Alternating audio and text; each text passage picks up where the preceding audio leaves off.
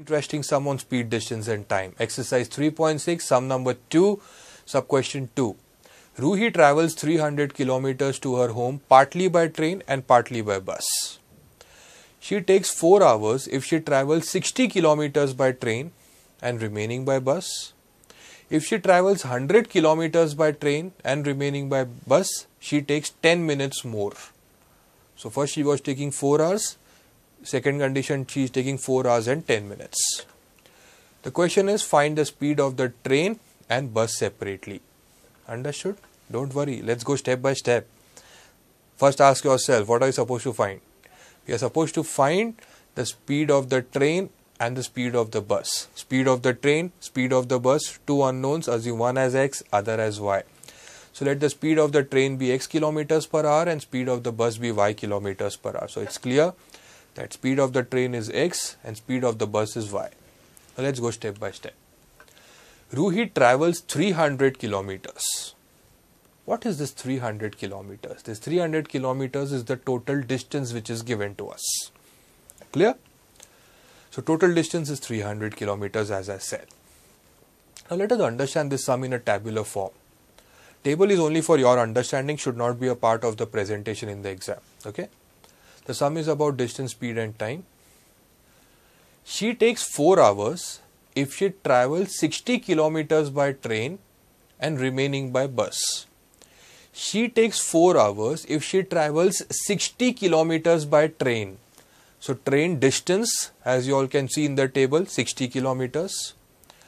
Remaining by bus, remaining in the sense the total is 300 out of which 60 by train so remaining 240 by bus. Clear? The speed is assumed as uh, this is clear, right? Total distance is 300 by train 60, hence by bus will be 300 minus 60, which is 240. The speed of train is assumed as x and speed of bus is assumed as y. Clear? So distance of train is given, so bus it is understood 300 minus 60. Speed of train x, speed of bus y. Distance is over, speed is over, time.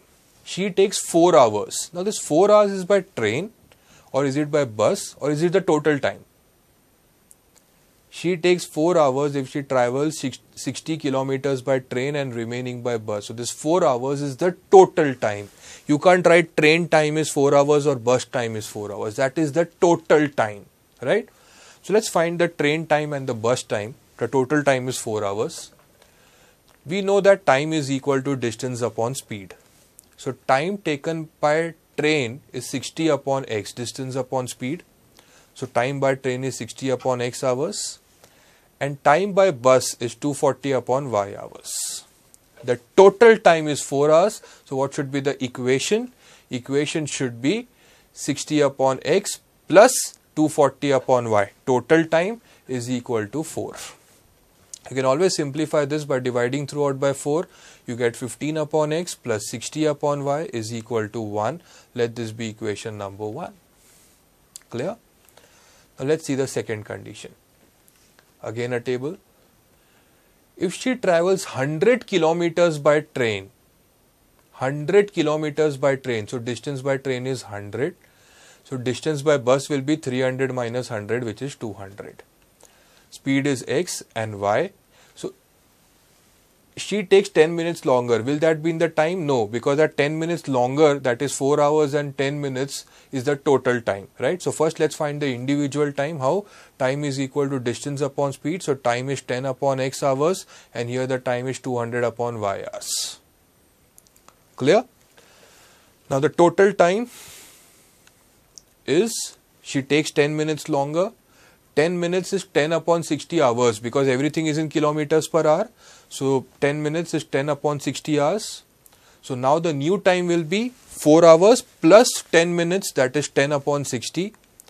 That's 4 plus 1 upon 6. 6 fours are 24. 24 plus 1 is 25. The LCM. So new time is equal to 25 upon 6. So this is the new total time 25 upon 6. 10 minutes longer. So it's 4 plus 10 upon 60 that's 4 plus 1 upon 6 take the LCM 24 plus 1 upon 6 that's 25 upon 6 clear So now you get 100 upon x plus 200 upon y is equal to 25 upon 6. Clear? You can simplify this further by dividing throughout by 25. You get 4 upon x plus 8 upon y is equal to 1 upon 6. Let this be equation number 2. Now look at both the equations. The first equation was 15 upon x plus 60 upon y is equal to 1. The second equation is 4 upon x plus 8 upon y is equal to 1 upon 6. How we used to solve such equations? Variables in the denominator by substituting and resubstituting. Substitute, resubstitute, solve and you will get the answer. As simple as that. Now, a few sums for practice. Exercise 3.2, sum number 1, sub question 1 and exercise 3.2, sum number 5. With this, your word problems are over.